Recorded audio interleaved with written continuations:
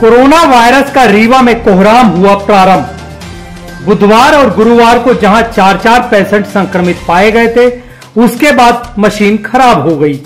या कर दी गई। यह एक बड़ा सवाल तो था ही, जिसको लेकर रीवा कलेक्टर ने नोटिस भी जारी की थी।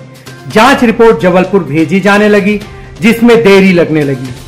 इसको लेकर स्वास्थ्य विभाग ने थोड़ी राहत की सांस ली। इसी दौरान संजय गांधी अस्पताल में क्वारंटाइन तनिषा सिंघल को अस्पताल प्रशासन ने घर पहुँचा दिया, जबकि उसकी जाँच रिपोर्ट जबलपुर गई हुई थी। पुरानी जाँच रिपोर्ट में भी वह लगातार संक्रमित निकल रही थी। तनिषा के घर पहुँचते ही जाँच रिपोर्ट आई, जिसमें वह संक्रमित पाई गई।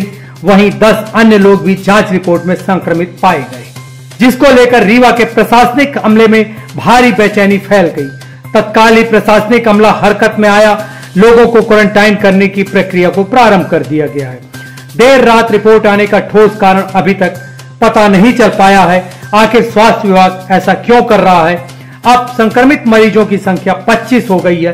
सीधा सा अर्थ, रीवा रेड जोन में। रीवा शहर की स्थिति दिन में ऐसी होती है, देखकर लगता है कोरोना वायरस नाम की बीमारी रीवा में है ही नहीं, जबकि मरीजों की तादाद रोज बढ़ रही है। न्यूज़ नेटवर्क टुडे की टीम रीवा के लोगों से अपील करती है, घर पे रहिए, सुरक्षित रहिए। कोरोना का संक्रमण रीवा में काफ़ी तेज़ी से फैल रहा है। अपने घर पर रहिए, सुरक्षित रहिए।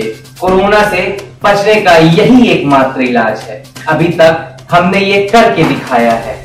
अपना बहुत बहुत ख्याल रखिए। अपने मेजबान जीशान जावेद को दीजिए इजाज़त। नमस्कार।